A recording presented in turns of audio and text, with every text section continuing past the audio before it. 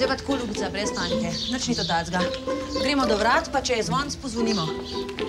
Ja, no, kaj pa, če ga ni? Je pa pa potrkamo, ne? Kaj pa, če je kdo doma pa znuri? A, pa pa tole uporabiš. Marina,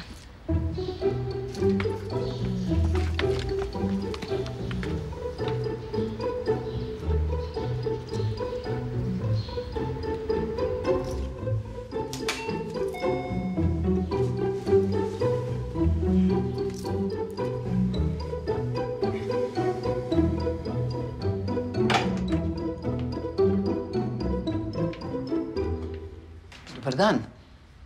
Dobar dan. Želite? Mile vam je posodil denar, ne? A, denar, ja.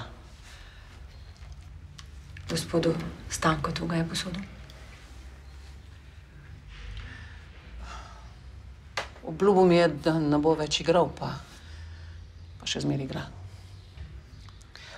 A ste za eno kavico? U, ja. Ja, izvolite, kar izvolite. Prosim. Kar naravno stele.